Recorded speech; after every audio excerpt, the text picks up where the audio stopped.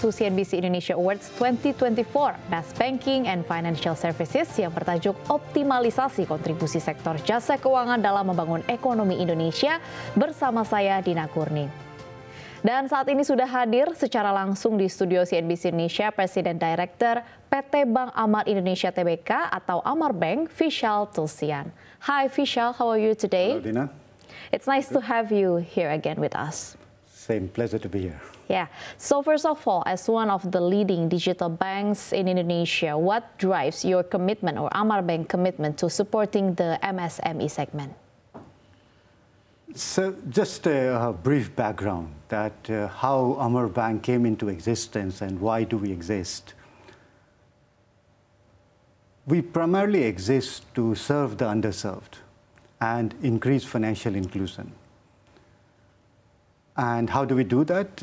We have a philosophy which says technology must impact lives, must improve lives. So we leverage technology to reach out to this segment. And to answer your question, MSME in Indonesia is largely underserved. There is a large market, and uh, they are lack of, uh, they don't have enough documents or they don't have the proper credit history, mm. because of which they cannot be served so easily by the traditional methods. It's only through technology uh, that we can reach them, we can service them, we can assess them.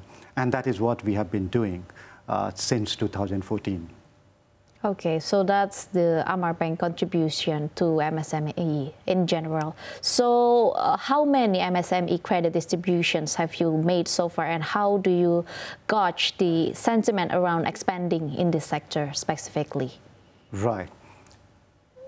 Now, uh, this just just that uh, before coming to the numbers, you would know that there is a regulation in Indonesia which states that uh, a bank should allocate certain percentage of assets towards MSME. Mm. Now that is there around from 2016 and that number has been 20% at that time and since then it has increased to 30% now. That's the regulation. And we are maybe only one of the very few banks who are not only meeting this target, but exceeding this target since 2016. So in 2016 also, we were disbursing to MSMEs more than 20%, and today it is uh, much more than 30%. In fact, it has crossed 50%. So that's, that's uh, what our MSME portfolio is. Total amount we have disbursed is more than 8 trillion. Mm, that's wonderful. So looking ahead, what is your target for MSME credit growth by the end of this year, 2024? 2024, we see uh, more than more than around just around 15 percent to be growing uh, in MSME itself. Okay, so uh, my next question is what do you think is uh, the key to Amar Bank's success in, in the context of uh, digitalization? How has it helped you expand your customer base while keeping a healthy MSME credit portfolio? Right. Now, there are various factors. Of course, one of the uh, big factors is good luck. Now, if I were to talk about the human factors, uh, I would pick three three factors out of many factors. One is customers, another is Amar Bank team, and third would be Amar Bank's technological superiority. And they are all three interconnected and tell you how. Mm. Uh, so we're very thankful for our customers who have placed their trust in us and we've been able to service them. And there is the Amar Bank team comes into picture. Uh, so how do you, I mean, customer is in the center of any business. Yeah? What, what does Amar Bank team does differently? I won't be exaggerating in saying that this is the best team and any CEO or any company can dream of. What do they do is that they are very dedicated and a strong passion to help people. And for that, they would be understanding the customer needs, talking to them on a regular basis. After understanding their needs, they see that what is the problem. And that's where comes the third part, technological superiority, which they will use to translate that need in a solution. they will collect data and uh, launch a product in a prototype format instead of a traditional method of product approval for a long time and launching the full-fledged, fully cooked product. Uh, launch it to the customer, collect data. It's called experimentation, iterative, and accordingly keep improving them and launch uh, finally, uh, which meets the customer's problems. So that is the that is the key reason that why we have been successful mm. uh, in this. Uh, the, the, kind of kind of products which we have launched uh, while doing this, and just to give you an example that how it makes a difference. So we have to see that MSME uh, requirements and needs are different as compared to the ones who are already served. So they are underserved. What's the biggest difference? The biggest difference is they don't have collateral. They don't have uh, predictable cash flows. They don't have enough documents. And they don't plan it in advance like most of the corporates can mm. before coming to the bank. So they would commit at the last moment. So they would need it very fast. Right? So they, that's something, and they don't have fully documents. So how you use technology to be able to service them?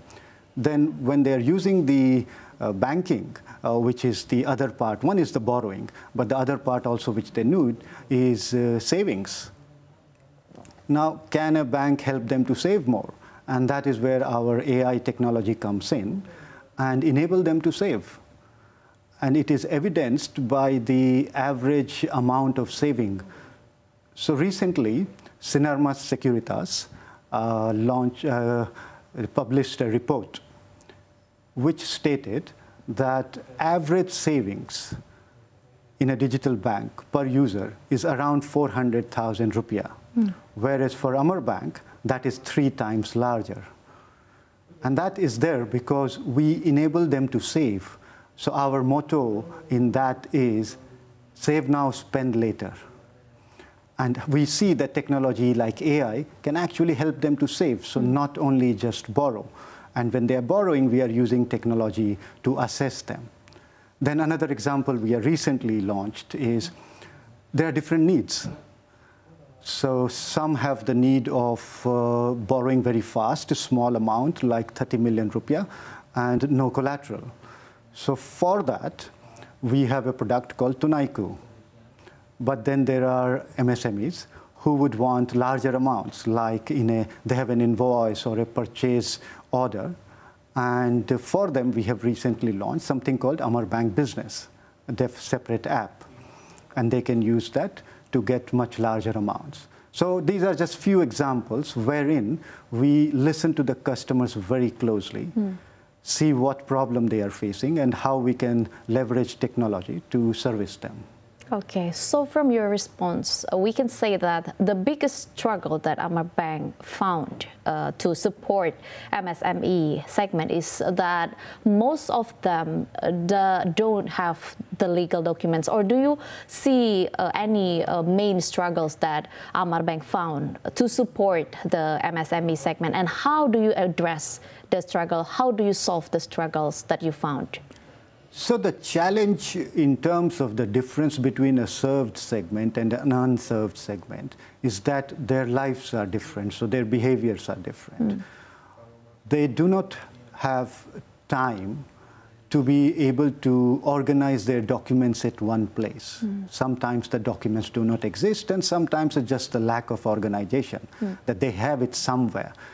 But while apply, applying for the loan they don't have the documents handy and they are just in the need of loan. Mm. Then the challenge which they face is their cash flow itself is unpredictable. They cannot predict that what will be their sales next week. Uh, on a daily basis, it is fluctuating quite a bit. Mm. So these are the unique challenges which MSME, a very small micro businesses face.